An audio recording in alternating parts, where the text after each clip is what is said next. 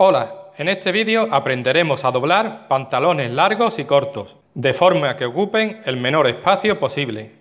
Comenzamos por los largos. Sacamos el pico y lo doblamos a un lado. Doblamos un pie hasta el final. Hacemos lo mismo con el otro pie.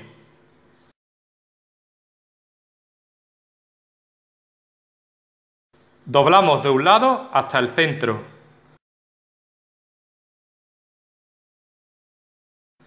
Lo mismo en el otro lado.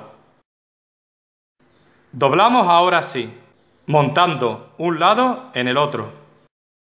Finalmente, doblamos de la cintura hasta el pie. Vamos con los cortos. Doblamos por la mitad, de lado a lado.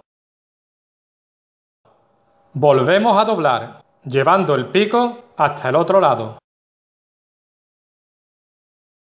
Doblamos ahora de arriba hacia abajo, hasta la mitad. En este bolsillo que se nos ha formado, metemos la otra mitad. Espero que este vídeo te haya sido útil. Nos vemos en el próximo.